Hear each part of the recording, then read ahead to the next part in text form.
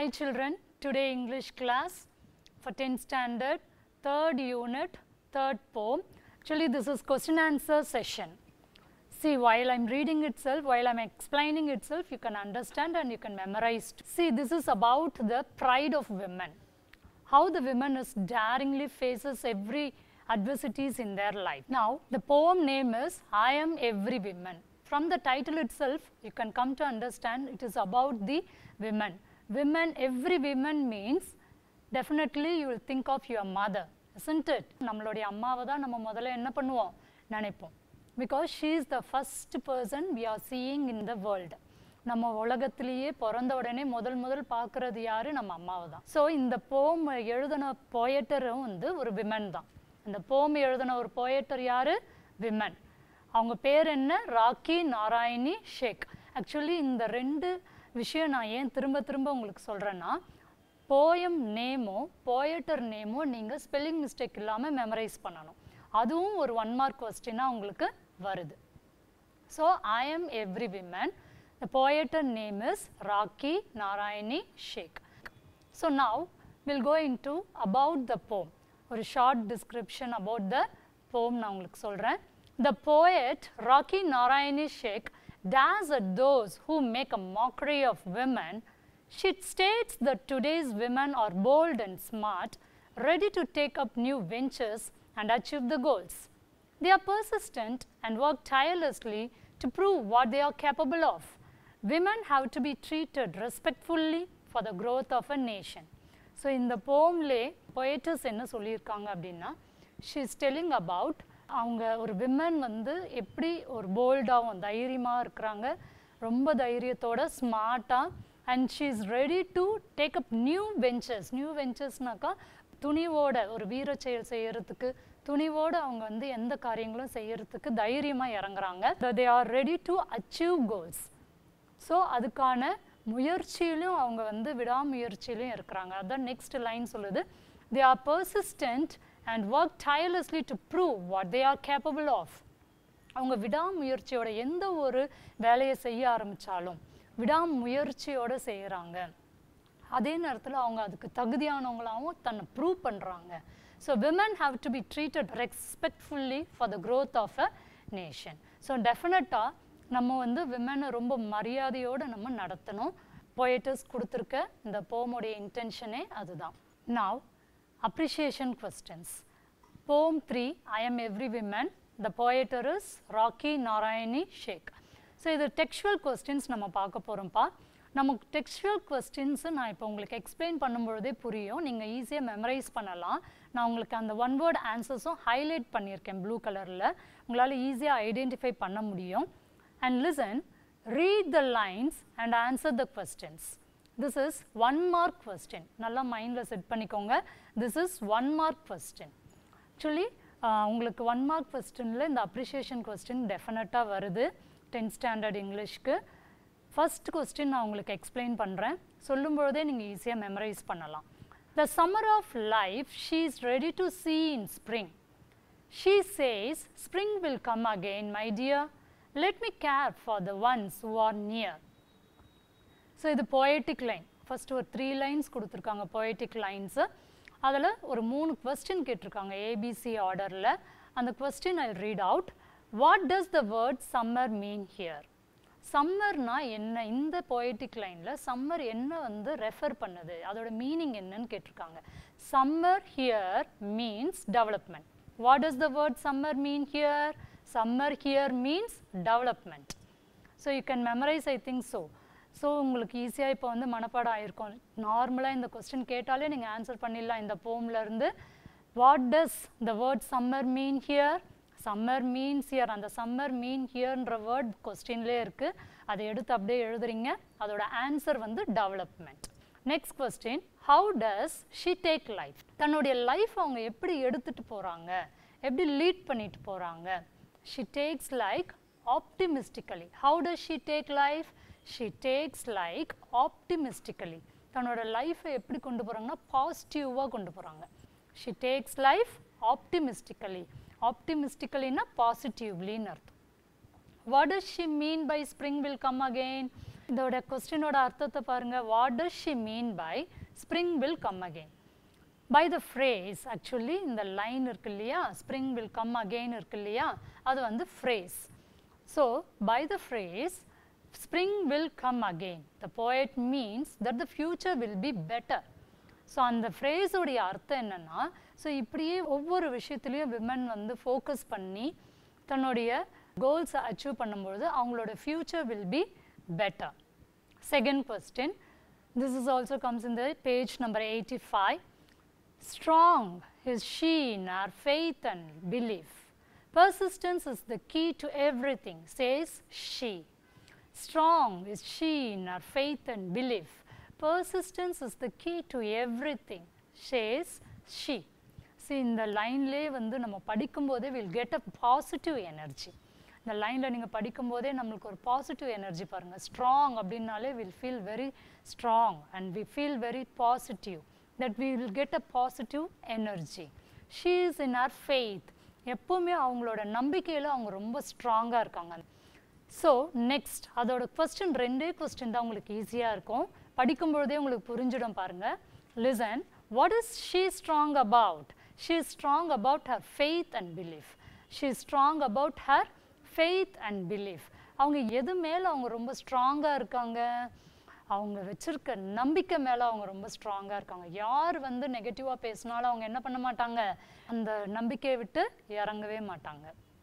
So what is the answer faith and belief நம்பிக்கை faith and belief எது மேலே ரொம்ப ஸ்ட்ராங்காக இருக்காங்க faith and belief she is strong about அந்த கொஸ்டின்லேயே இருக்க பாருங்க answer she is strong she is strong. What is she strong about? She is strong about her faith and belief. Now we'll go to the next question. What does she deal with the adversities in life? What does she deal with the adversities in life? அட்வர்சிட்டிஸ்னால் difficulties difficulties கடினமான சூழ்நிலைகளை எப்படி அவங்க கடந்து போகிறாங்க what does she deal with the adversities in life she strong in her faith and belief and is determined while dealing with the adversities in life she strong in her faith and belief எது எப்படி அவங்களால how எப்படி ஹவுனா என்னது எப்படி எப்படி அவங்களால வந்து எல்லா டிஃபிகல்ட்டிஸையும் வந்து ஈஸியாக ஃபேஸ் பண்ண முடியுது? ஏன்? How ஹவுனா she strong inner faith and belief இதுக்கு முன்னாடி கொஸ்டினில் வந்து அவங்க எ- எதில் ஸ்ட்ராங்காக இருக்காங்கன்னு கேட்டாங்க? அவங்க ஃபெய்த் அண்ட் பிலீஃபில் ரொம்ப ஸ்ட்ராங்காக இருக்காங்கன்ற ஆன்சர் வந்தது. நெக்ஸ்ட் கொஸ்டின் பாருங்கள் எப்படி அவங்களால வந்து எல்லா டிஃபிகல்ட்டிஸையும் ஃபேஸ் பண்ண முடியுது? Because she is strong in her faith and belief shall we go to the next question Despite the sighs and groans and moans, she is strong in her faith, firm in her belief. ரெண்டு line கொடுத்து உங்களுக்கு question கேட்டிருக்காங்க despite the sighs and groans and moans she is strong in her faith firm in her belief is she complaining about the problems of life no she is not complaining about the problems of life so புலம்பலே இல்லை அவங்க கம்ப்ளைண்ட்டே பண்ணவே இல்லை அவங்களோட லைஃப்பில் வர ஒவ்வொரு ப்ராப்ளம்ஸையும் தைரியமாக face பண்ணுறாங்க why she is bold enough she is smart she is ready to take adventures that is why she is ready to face the problem so she is not ready to complain about the problem she is happily facing the problem and overcoming the problem that means is she like புலம்புறாங்களா complaint பண்ணுறாங்களா தன்னுடைய ப்ராப்ளம்ஸை நினச்சி தன் லைஃப்பில் வரக்கூடிய ப்ராப்ளம்ஸை நினச்சி அவங்க புலம்பவே இல்லை no what is the answer only answer is no that's all answer பார்த்தீங்கன்னா no she is is she complaining about the problems of life no she is not complaining about the problems of life இது நான் சொல்லும்போதே உங்களுக்கு memory ஆயிட்டு இருக்கும் next pick out the words that show her grit the words that show her grit are strong and firm strong and firm the words that show her grit இதில் வந்து grit அப்படின்ற வேர்டை வந்து காமிக்கும் பொழுது என்ன ஆகுனாக்கா ஸ்ட்ராங் அண்ட் ஃபிம்னு சொல்கிறாங்க so fourth question don't ever try to saw her pride her self respect she knows how to thaw you saw you so beware what do the words thaw and saw mean here இந்த வேர்டில் வந்து பார்த்தீங்கன்னா தா and சா rhyming வேர்டாக இருக்குது இதில் என்ன meaning இங்கே கொடுக்குது thaw and saw means that she will reduce you to nothing she'll reduce you to nothing which means அவங்க வந்து நீங்கள் அவங்களுடைய ப்ரைடையோ அவங்களோட செல்ஃப் ரெஸ்பெக்டையோ டச் பண்ண பார்த்தீங்கன்னா டெஃபினட்டாக அவங்க வந்து உங்களை ஓவர் கம் பண்ணிடுவாங்க. நீங்கள் என்ன ஒரு ப்ராப்ளம்ஸ் அவங்களுக்கு க்ரியேட் பண்ணாலுமே என்ன ஒரு ஆப்போசிட் காம்படிஷன் கொடுத்தாலுமே she is ready to focus and she'll ready to reduce reduce you to nothing what is the tone of the author the tone of the poetess is a caution about careful intervention. The tone of the poetess is a caution about careful intervention. So, ரொம்ப கேர்ஃபுல்லாக இந்த போமில் வந்து அவங்க எழுதியிருக்காங்க about the women's pride. So, shall we go to the next question? She's today's woman. Today's woman according to the poet. Today's woman is a woman born with determination, ready to take risk in life and is strong in her faith and beliefs. So today's women அவங்க next ஃபைனலாக சொல்ல வர்றது என்னன்னாக்கா she's today's women today's women according to the poet போயட்டோடைய mind set வியூவில் பார்த்தீங்கன்னாக்கா she's today's women today's women is a women born with determination so ஒரு குறிக்கோளோட வந்து இப்போ ஒவ்வொரு விமனுமே வந்து குறிக்கோளோட தான் வாழ்கிறாங்க ready to take risk in life so என்ன ரிஸ்க்குமே வந்து தன்னோட லைஃப்பில் எடுக்கிறதுக்கு தைரியமாக இருக்காங்க. பிகாஸ் என்ன ரிஸ்க்காக இருந்தாலும் அவங்களால ஓவர் கம் பண்ண முடியும் அவங்க லைஃப்பில் அதனால் she is very she is ready to take she is bold enough to take risk in life and is strong inner faith and believes ஏன் ஏன் இவங்க வந்து இந்த ரெண்டு விஷயம் பாருங்கள் குறிக்கோளோடு இருக்கிறாங்க. அதே நேரத்தில் அவங்களால வந்து தன்னுடைய லைஃப்பில் வரக்கூடிய எல்லா ப்ராப்ளம்ஸையும் ஃபோக்கஸ் பண்ணி ஓவர் கம் பண்ண முடியுது அப்படின்னா ஷி ஸ்ட்ராங் ஏன் ஒரே ரீசன் அவங்க வந்து தன்னுடைய நம்பிக்கையில் ரொம்ப ஸ்ட்ராங்காக இருக்காங்க. She strong in faith and believes next question how should a women be treated a women should be treated with love and respect a women should treat should be treated with love and respect. நம்ம அன்போட மரியாதையோட ஒவ்வொரு விமனுமே நம்ம என்ன பண்ணணும்? Treat பண்ணணும். So this what about the appreciation question so நம்ம five appreciation question பார்த்துருக்கோம். இந்த ஃபைவ் அப்ரிஷியேஷன் கொஸ்டினில் நீங்கள் ஈஸியாக உங்களால் மனப்பாடம் பண்ணியிருக்க முடியும்னு நான் நம்புகிறேன் நெக்ஸ்ட் பேராகிராஃப் கொஸ்டின் நம்ம பார்க்கலாம். பேராகிராஃப் கொஸ்டின் வந்து உங்களுக்கு ஃபைவ் மார்க் கொஸ்டின்மா ஃபைவ் மார்க் கொஸ்டினை பொறுத்த வரைக்கும் உங்களுக்கு ரொம்ப ஈஸி ரொம்ப பெருசாக இருக்குது எப்படி மெமரைஸ் பண்ணுறது அப்படின்லாம் நீங்கள் பயப்பட வேண்டிய அவசியமே கிடையாது. ஏன்னா நீங்கள் இப்போ வந்து ஒரு ஃபைவ் அப்ரிஷியேஷன் கொஸ்டினை நான் உங்களுக்கு எக்ஸ்பிளைன் பண்ண இல்லையா நான் சொல்லும்போதே உங்களுக்கு ஆன்சர்ஸ் மனப்பாடம் ஆகிருக்கும் ஸோ அந்த அப்ரிஷியேஷன் கொஸ்டினில் உள்ள ஆன்சர்ஸே தான் ரிப்பீட் ஆகும். ஸோ அது எப்படி நீங்கள் கோர்வையாக எழுதுறதுன்றது தான் பேராகிராஃப் ஓகே ஸோ ரெண்டு பேராகிராஃப் கொஸ்டின் உங்களுக்கு கொடுத்துருக்காங்க. ரெண்டுமே about the qualities of a women so next question நம்ம படித்து உங்களுக்கு எக்ஸ்பிளைன் பண்ணும்போது உங்களுக்கு புரியும். நான் அதை எக்ஸ்பிளைன் பண்ணும்போது you will come to understand அப்ரிஷியேஷனில் கொஸ்டினில் இருந்த வேர்ட்ஸே ரிப்பீட் ஆகுதே அப்படின்னு நீங்களே நினைப்பீங்க okay so now answer the following in a paragraph of about eight hundred to hundred words so this is five mark question First question How are today's women portrayed by the poet? இன்னைக்கு உள்ள பெண் poet இந்த போயட்டர் ஐ மீன் இந்த போயட்டர்ஸ் ராக்கி நாராயணி ஷேக் அவங்க வந்து எப்படி அவங்கள portrait பண்ணியிருக்காங்க வரைந்திருக்கிறாங்கன்னு சொல்லலாம். போர்ட்ரேட்னாக்கா வரைபடமாக வரைஞ்சிருக்காங்க இந்த போமை இந்த போம் மூலியமா ஒவ்வொரு விமனையுமே Rocky Narayani Sheikh is an academician with a passion for writing poems as a medium of self-expression. This poem talks about the multifaceted nature of women. A woman is born beautiful and beauty is an inborn trait. She is a symbol of supremacy and strength. She takes risk in life for she is real and always genuine. Today's women are empowered, brave, strong and resolute. They are always ready to take up new adventures. They are persistent and work tirelessly to prove what they are capable of. Women have to be treated respectfully for the growth of a nation. As stated earlier, she is the symbol of strength and she is strong in her faith and beliefs. In spite of all the outbreaks and cries and laments, she is strong in her hope and firm in her trust. She is a lioness, brave and daring. She is a disciplinarian and will not tolerate your pranks with her. She is a woman of today, smart and brave. each time a woman stands up for herself she stands up for all women so இந்த போ இந்த paragraph பார்க்கும்போது பயப்பட வேண்டாம். பெருசாலாம் இல்லை. ரொம்ப ஈஸியாக தான் இருக்கும். ஸோ ஃபர்ஸ்ட் லைன் பார்த்தீங்கன்னா அக்கம academician with a passion for writing poems as a medium of self expression so இந்த poem talks about multifaceted nature of women மல்டிஃபேஸ்டட்னாலே பல முகங்கள் கொண்டவங்க. ஒவ் ஒவ்வொரு விமனுக்குமே நிறைய ரோல்ஸ் இருக்குது being mother daughter wife sister so அந்த மாதிரி ஃப்ரெண்ட்ஸ் ஸோ அந்த மாதிரி நிறைய ரோல்ஸ் ரோல் ப்ளே பண்ணுறாங்க ஸோ எல்லா ரோல் ப்ளேவும் அவங்க கரெக்டாக பண்ணுறாங்கன்றது தான் இந்த ப்ரைடே அதனால தான் அவங்களால அச்சீவ் பண்ண முடியுது அண்ட் அதனால தான் அவங்க ஸ்ட்ராங்காகவும் இருக்காங்க. So a women is born beautiful that every one knows a women is born beautiful and பியூட்டினா என்ன? அந்த பியூட்டிஃபுல்ன்றது என்ன?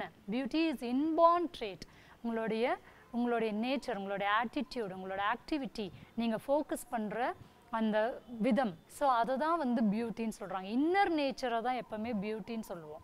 So she symbol of supremacy and strength a women is born beautiful and beauty is and inborn trait so women is born பியூட்டிஃபுல்னாலே அழகுன்னு நினைக்கிறோம்.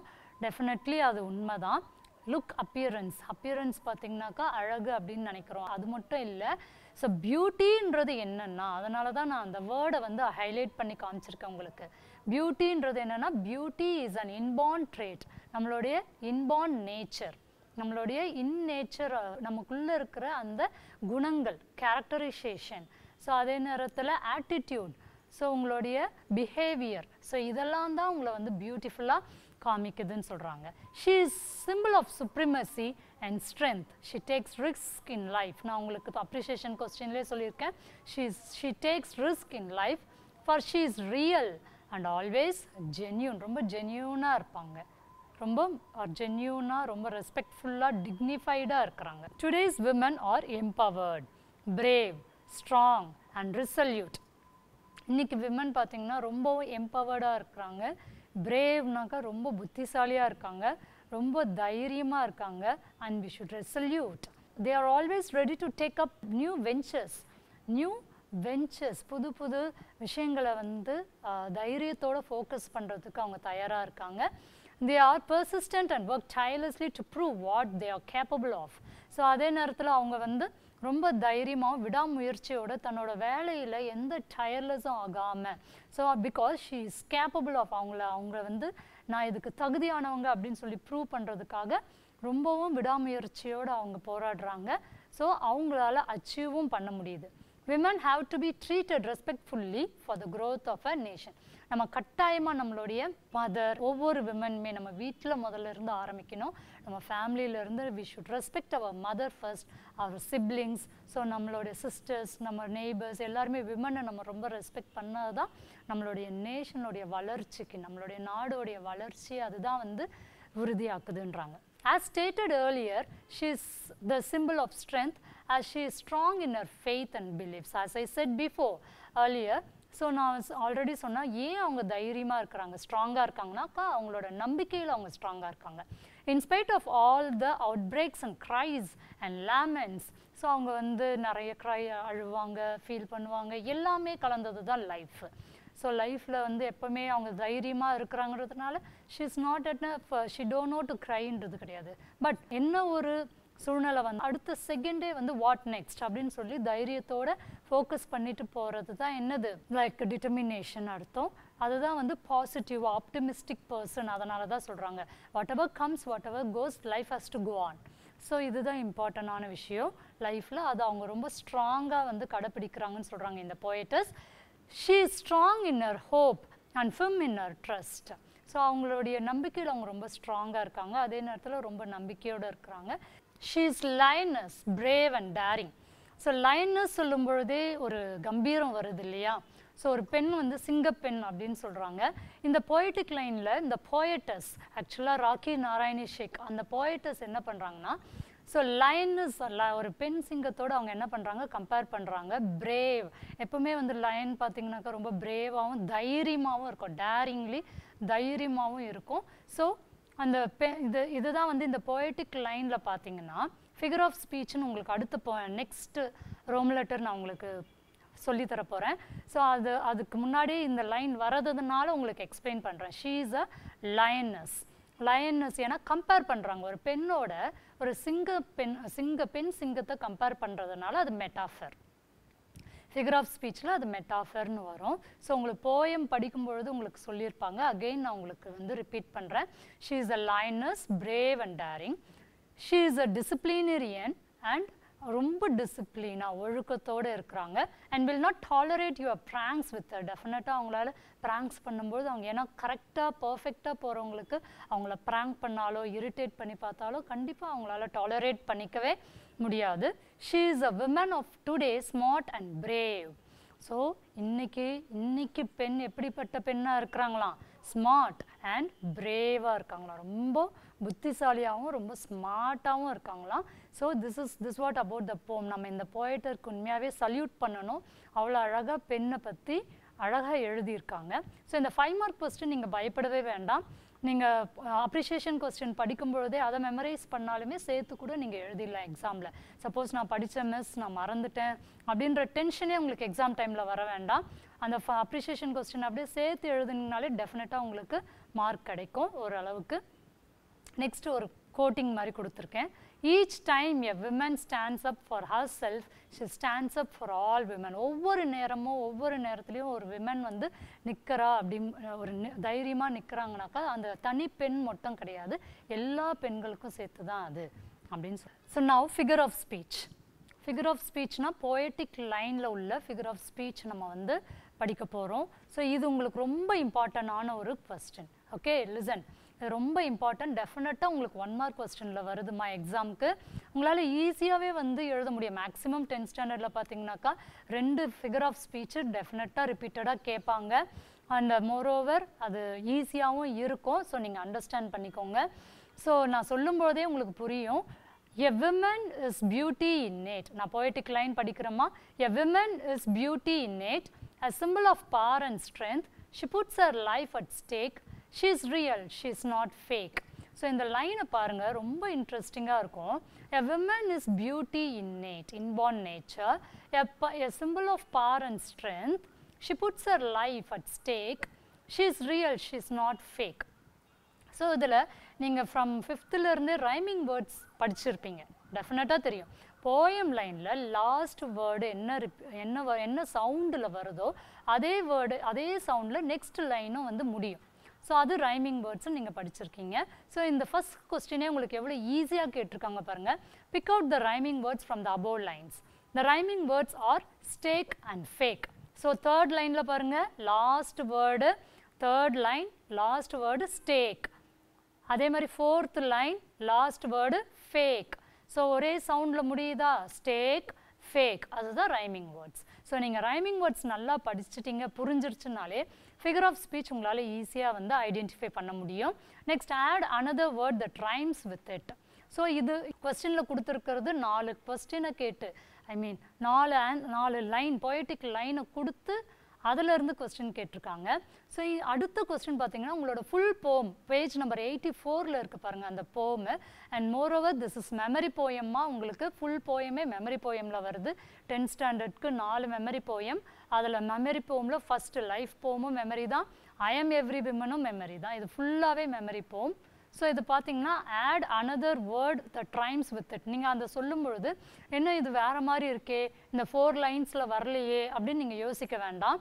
Page number eighty four எடுங்க then you can no அப்போ உங்களுக்கு தெரிஞ்சிடும் பாருங்கள் இன்னேட் checkmate. ஸோ கண்டுபிடிச்சாக்கா ஈஸியாக கண்டுபிடிக்க முடியும். Just go into the poetic lines so first poem எடுத்தீங்கன்னா இன்னேட் செக்மேட் எந்த லைனில் வருதுன்னு பாருங்கள் அடுத்தடுத்து ஃபஸ்ட்டு ஒரு லைனில் இன்னேட் இருக்கும்.